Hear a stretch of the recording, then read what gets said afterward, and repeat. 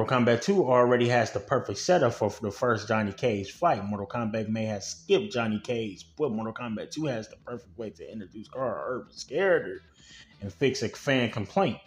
Johnny Cage, along the way in appearance in Mortal Kombat 2, is set up perfectly by the ending of Mortal Kombat 2021 as Cole Young is on the hunt for him. The similarities between Cole Young and Johnny Cage create an interest rivalry, even though the characters has never met. This sets the stage for a dynamic and entertaining fight between them. The fight between Cole Young and Johnny Cage at the start of Mortal Kombat 2 should not be a serious match, but rather a fun and meta encounter, allowing the sequel to kick off in an entertaining way. This is interesting.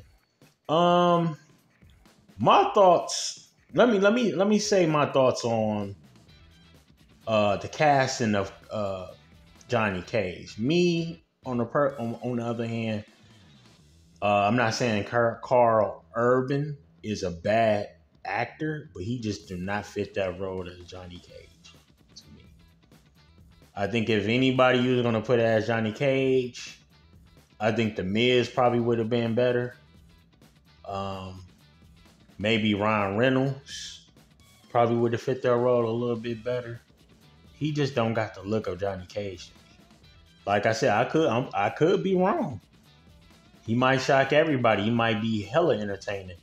I could be wrong. You know, give it a chance. You never know. But he just don't got the look. He got the, if this if this the look they going with, in the uh, the movie of MK2, uh, I you know I'm saying Johnny Cage with a beard. That's just.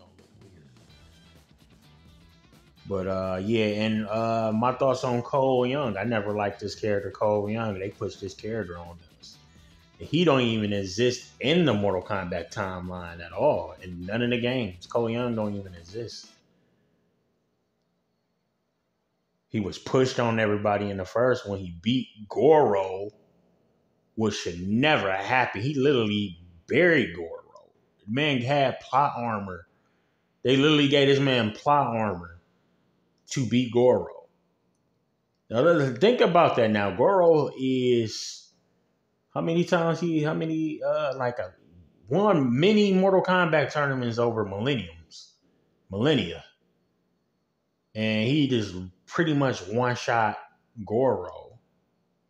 Like tore out his, his his intestines and all that stuff. It's like, what?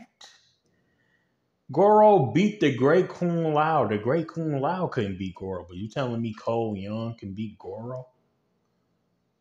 That really pissed me off. And then not only that, they literally had this man help out Scorpion at the end of Mortal Kombat to, to, to fight Sub Zero. Like Scorpion never needed anybody help to beat Sub Zero.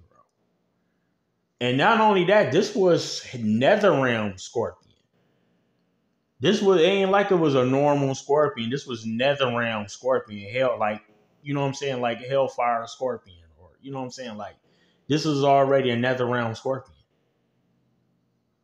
You know what I'm saying? Like Scorpion never need anybody help to body body Sub Zero.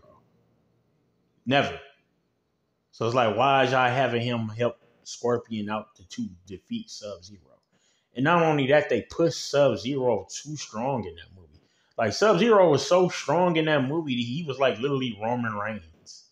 He was the Roman Reigns of that movie. Like, bro, they made Sub Zero too fucking strong in that movie. But yeah, uh, far as Karl Urban playing as Johnny Cage, like I said, I give it a chance. Let's see what happens.